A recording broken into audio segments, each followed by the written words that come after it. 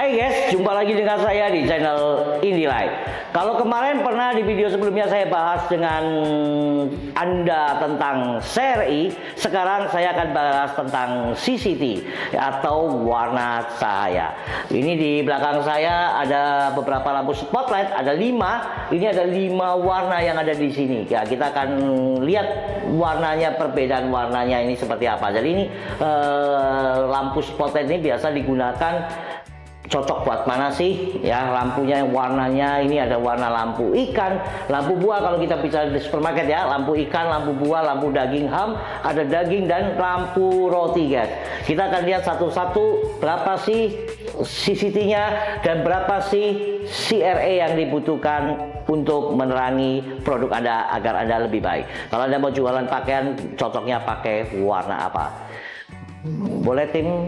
Dibantu Nah guys, lampu sudah dihidupkan. Ini adalah warna 3000 Kelvin guys. Jadi warna 3000 Kelvin kita lihat untuk warnanya ini ada di 3194 Kelvin dengan CRA dengan CRI 90,4 lux kita nggak usah hitung karena ini terlalu dekat guys ini lampunya menggunakan 25 watt. Ya dengan TLCI 84 TLCI nya nggak terlalu bagus guys. Ya karena ini lampu belum di update ini guys ya. Ini memang TLCI nya nggak terlalu bagus. Tapi kalau saya di belakang bawah sini guys ini cocok untuk menerangi anda punya buah atau buahnya sayuran. Ini anda cocok sekali untuk gunakan cahaya lampu ini guys. Nah sekarang kita ke lampu cahaya berikutnya Guys, tampilannya ini adalah lampu daging segar guys, daging merah guys ya. Ini daging merah, ini kita akan cek. Ini hasilnya.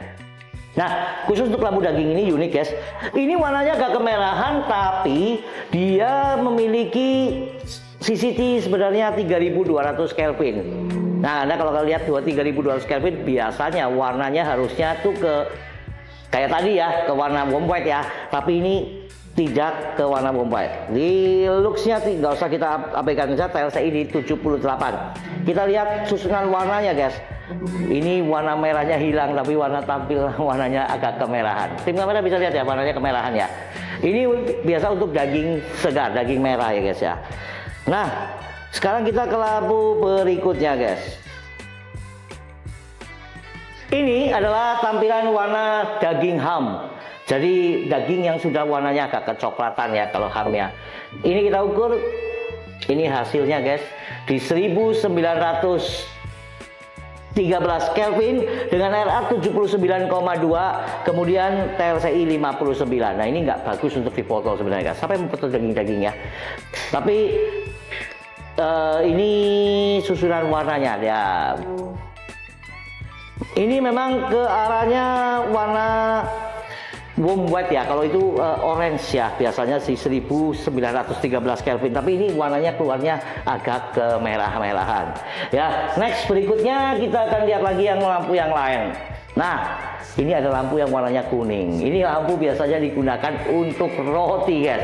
Ya, roti tapi untuk roti yang dipanggang nah, roti apa itu sejenis roti tawar ya. Ini warnanya di CCT 2359 Kelvin, tapi lihat Anda lihat ya ini mungkin kalau foto kalau kita butuh CRE tinggi dan TLCI tinggi karena rotinya biasanya di foto-foto ya. Dia lebih bagus. Ini kalau saya masuk sini ini warna warnanya jauh lebih bagus ya.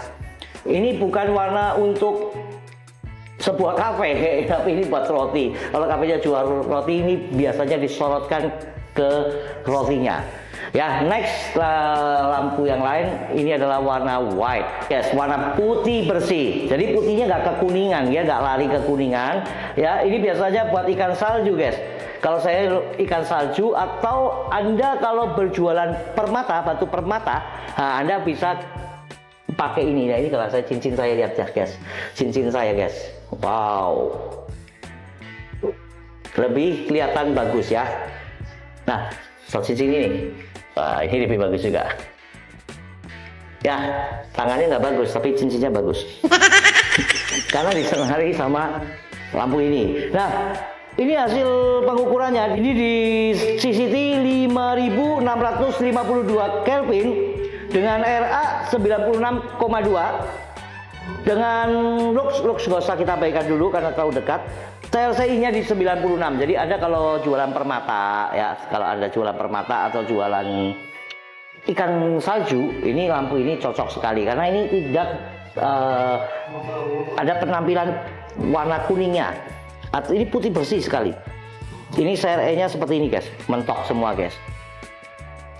Jadi beda dengan cahaya putih yang ada di supermarket supermarket yang banyak itu yang pakai putih-putih TL ya itu beda. Ini cahayanya lebih jauh lebih mewah.